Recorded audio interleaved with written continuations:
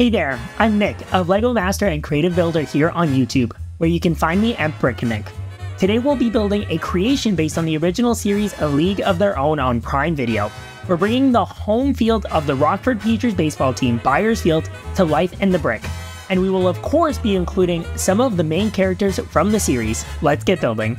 I carefully studied the Peaches home field, noticing the dark green stands with white pillars, dugouts with metal roofs, well played field, outfield walls, and scoreboard would all be crucial details to capture for this project.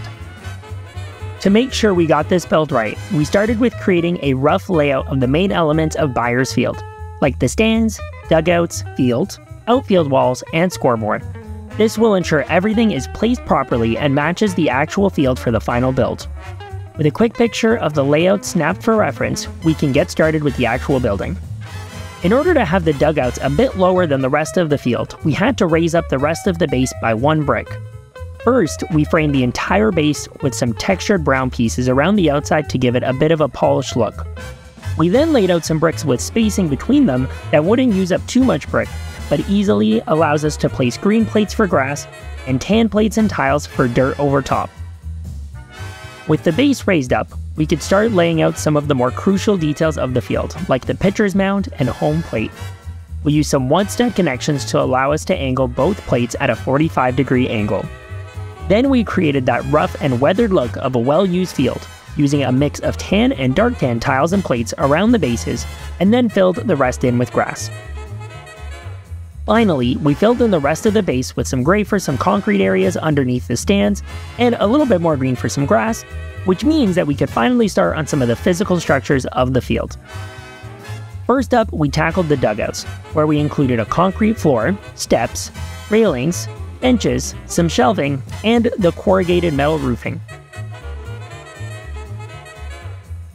The stands required some more in-depth planning. Given that the center of the stand sits at a 45 degree angle compared to the rest of the field, we carefully laid out a rough approximation of where we wanted it. Next, we jumped over to working on some of the characters for the build, attaching custom printed stickers I created based on the Rockford Peaches uniform. For our catcher, Carson, we had to build some unique legs to give her a squatting pose that a catcher needs.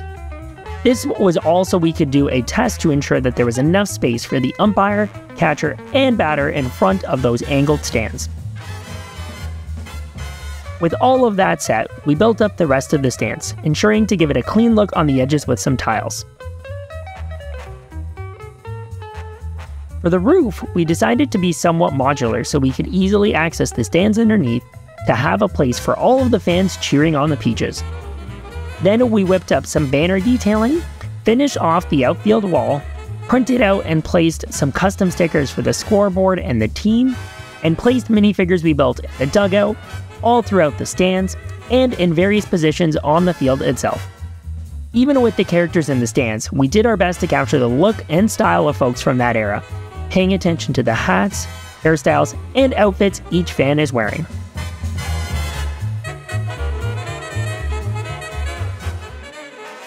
And with all of the minifigures in place, the build is complete. I'm extremely happy with how it turned out. It was so much fun seeing the whole stadium come together, especially enjoyed working in lots of tiny details that really make the build feel just like the actual Beyer's Field. From water coolers in the dugouts, the press box for the announcers, the Rockford Peaches sign and scoreboard, to many of the characters as we could fit in, like Max Chapman and Clance Morgan, to Carson Shaw playing catcher, Greta Gill in the dugout just behind Coach Dove Porter, to many other team members out in the field.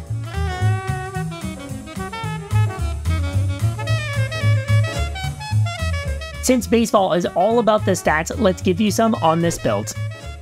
It measures 15 inches wide, 15 inches long, and 5 inches and a quarter tall. While I didn't count the exact number of pieces used, I guesstimate it has between 1500 and 2000. And we built a total of 38 minifigures to really bring the stadium to life. Hope you had as much fun watching this build come to life as I did bringing it to life, and just thank you so much for watching. Happy building out there.